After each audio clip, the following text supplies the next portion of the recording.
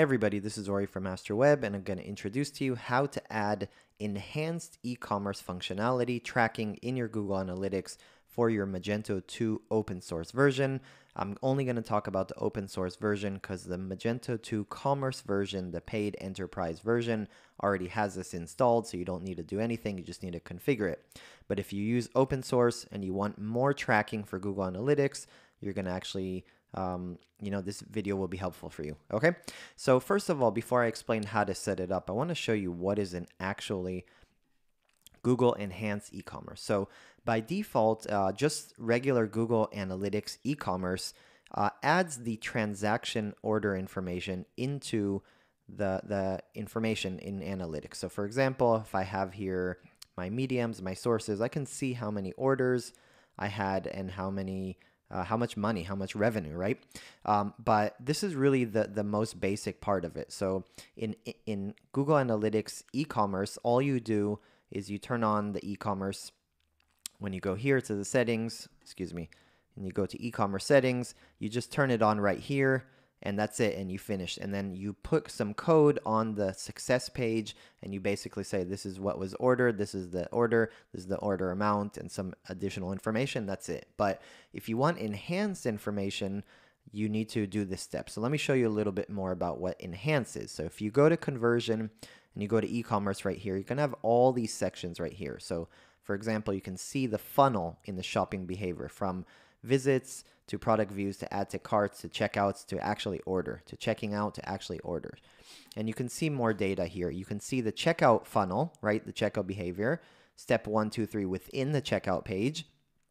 And you can see more information about your products.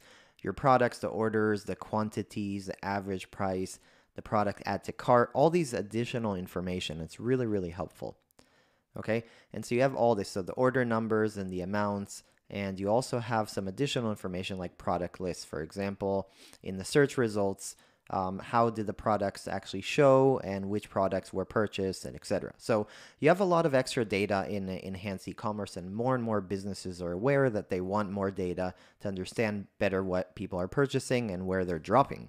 So this video is for you. Okay, so let's start.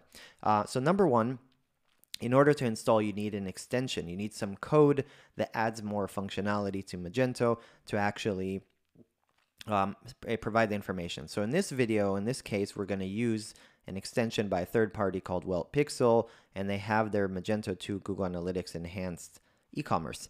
Now they use Google Tag Manager for managing this, which has a lot of advantages. So I like to do this using Tag Manager to put inside the Google Analytics and then grab information from the page, etc. So I'll show you uh, more about this. So in this case, they have a free and they have a paid version. In short, you can check out yourself. I'm going to put this URL in, in the link. You can check which one you like. Uh, we've used both the free and the, and the paid, depending on different projects. Uh, but in this video, it's just going to be the uh, free one. And the free one has a lot of functionality, but depending on what you actually need, you can figure out yourself, right? Uh, but if you have questions, of course, let me know and I'll be happy to answer. Okay, so um, this video assumes that you already installed it on your machine. Um, they also assumes that you have a Google Tag Manager account you set up and you have a Google Analytics account already. If not, you can reference, just go to our, our um, YouTube channel and you can see how to set up all these things. We've done it before. Okay, so uh, once you install it, you actually, let me refresh the page right here. Um, you're in the back end. You actually have a section right here called Welt, right? And you're going to have a section here for uh, GTM settings. So now we're going to start setting it up. It's pretty simple. Um, so let's go ahead. Okay, so first of all, what we want to do, we want to just enable it. Really simple. Let's click on enable. Okay, now when we enable this, we're going to have to put in the, the Google Tag Manager code. So if you go to your admin, you'll be able to get your code right here. So I'm going to copy this right here. This is my head. I'm going to go right here and I'm going to put it here and then I'm going to put the body tag the body tags. This is just installing making sure that all pages have your Google Tag Manager, you're loading your tag manager, okay? This is the first thing. Now you have a lot of settings. I'm not going to cover it here because a lot of them work great by default. But for example, if you want to add brand to your products, you know, or you change your attribute system, you're going to have to do some small changes. But it works really well for very default like Luma new Magentos. And if you need to upgrade based on your, you know, your analytics team, etc., then obviously you got to figure that out. Okay. So let's let's go here. And yeah, they have cool things like custom custom dimensions, customer ID, things like that. Okay. So first of all, what I'm going to do, I'm going to save this right here. Okay. So now what I'm doing is I'm adding Google Tag Manager code to um, my information right here. Okay. So let's go right here and let's scroll down a little bit. Okay. Now I'm to go right here. Um, the save didn't work because I forgot to do this. Okay, so now you're to have to input some information about GTM. So you're to go to your GTM and you're to look at the URL right here. Okay, so I'm to click, I'm to close this because I'm good. And when I go to the URL, I'm to look for the part that says accounts and a number and containers and a number. And I'm to I'm to copy this uh, accounts number right here. I'm to put it in the account ID and under the container, I'm going to move to the right. Containers are going to copy this number as well. Okay. Make sure you copy it correctly. Um, let me just double check that. Okay. So looks okay. Okay. So good. So now I copied this and then I'm going to get my universal analytics. Now this um, video only works with Google uh, Universal Analytics. It's 2021 right now when I recorded this video, and there's a, just a new universe. Uh, sorry, Google Analytics version 4 this video, no one has made this yet, so there's no way to integrate yet with the Analytics 4. Um, so this is using Universal Analytics. If you watch this video, uh, just make sure that you have a Universal. If not, in future, I'll update it with new ones once we can develop this or find an alternative. Okay, so how do you do that? You go and you go to the admin right here and you go to your tracking info and you just grab the UA dash, right? This is your tracking ID relevant to you. Now this, this site I've set up one just for this demo site. So just so you know, okay, I'm going to put this here and I'm going to save it now. So that now I should be able to save it. Okay. So this is, this is the initial setting. I need to make sure that I have everything here. Okay, great. So now what I'm going to do, I'm going to go all the way to the bottom right here. Okay and I'm gonna go and I need to export, I need to set up some settings in my Google Tag Manager to make sure it's actually triggering Google Analytics inside. So how do I do that? I go to the bottom to JSON export, right? And I'm gonna go here and I'm going to, one second, public ID. Okay, so I need to put my GTM ID right here, this one. Okay, at the top of my page. I'm going to put this and I'm going to save for a second and I'm going to export it and I'm going to take this information and give it to Google Tag Manager to, to configure things for me automatically. Okay, so let's click on here and generate. Okay, it was generated successfully. You can download. Thank you. Okay, so now I have this uh, GTM export.json. Now I'm going to go to uh, Google Tag Manager. I'm going to go to the admin right here and I'm going to click on import container okay? And I'm going to go right here and I'm going to just select the JSON right here, okay? And I'm going to do it into the existing workspace. I don't want to make a new workspace, but that's up to you. If you already have some information, you can do that, okay? And I'm going to click on override, okay? And this is my information. This is my workspace. I selected it. It's just going to tell me a summary before I do. There's 11 new tags and 12 new triggers. These are all the information that happened that uh, GTM needs to read code that we send on the pages, understand it, and then throw data to Google Analytics to add more enhanced data. Okay, so I'm going to click on confirm and should be okay. And now I have all these new things, all these workspace changes. And what I'm going to do, I'm just going to submit. I'm going to publish it. So I'm going to call here GTM GA enhanced. So I'm just going to specify uh, in my changes, what did I do? So I can actually go back Okay, enhanced. Uh, you, you might want to put some more information, but you have all this. So I'm going to click on publish. Okay, great. So now that I did this, now I should be able to start uh, using these things. So uh, one more thing I need to do right now is I need to configure my Google Analytics just to make sure that I'm tracking the uh, the e-commerce side, right? So I'm going to go to my site. This is my information, and I'm using in a universal, and I'm going to click here on e-commerce settings right here. Okay, I'm going to turn on e-commerce and I'm going to turn on enhance. And if you have funnels, for example, in the checkout page, you want to uh, add step one, two, three, you're going to add the funnels. Now, by default Magento, you're going to add here shipping and you can label them any way you want, of course. And then shipping method, right? First, select your shipping address, then select your shipping method, and then go pay. That's that's basically the idea. So we have payment and um, what is this? I wrote it down and billing. Okay, so this should be okay. Now I saved it.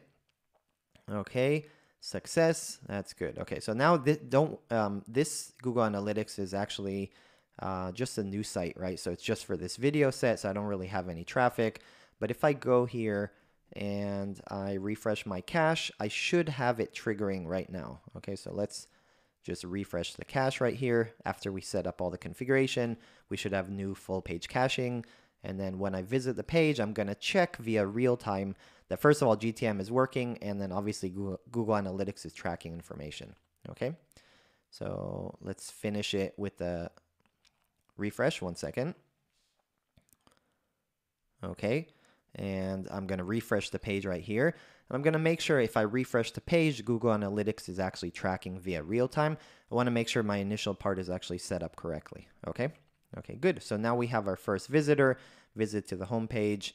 If I go to, for example, let's just say this men's page, you're going to see that it actually tracks. So, so, so far we did, we did everything correctly. Okay.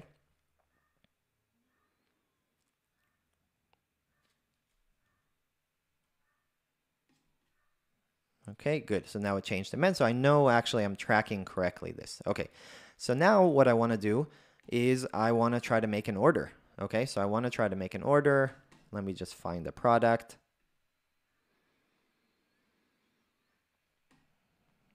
Okay, I'm going to find the product. I'm going to add to cart. Okay, so now I'm acting as a customer, right? I'm just to make an order. I'm to sign in and try to make a quick order right here. Okay, and this is just a test site, so don't worry about that.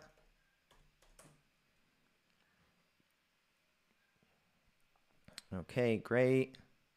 And I'm to start proceeding to checkout. I'm to make an order. So I'm following the steps. I added this product, Hero Hoodie, to my cart, and I'm proceeding. I'm just to put the business information right here and select my shipping method, for example, this one, right? So shipping was step one, shipping method was step two, if you remember that, and then checkout, right? Paying. So let's just say I do the check or money order um, and I place the order. So if I place the order successfully, each page, this extension will put some extra code that Google Tag Manager will pick up convert it to what it needs and send data to Google Analytics. That's exact like the very simple high level um, description of how it works. Okay, so I made an order and I have order number five zero zero zero zero zero five. Okay, so now um, if I did everything successfully, I can go to my normal acquisition and I can see my orders, and of course I can see.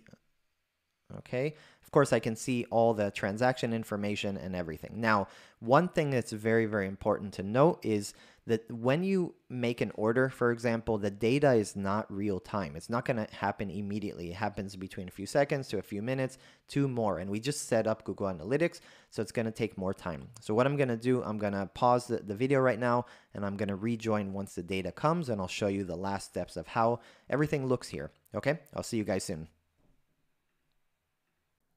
Okay, I'm back. So uh, one day passed by, I made another order, and I wanted to show you how it looks. So I'm just looking at today's order, for example. Um, so what I did is I went to e-commerce right here, and the conversions tab, and I'm looking overview, and I can see my order here. I can see the amount of money in the order, the conversion rate based on visitors to orders to transactions.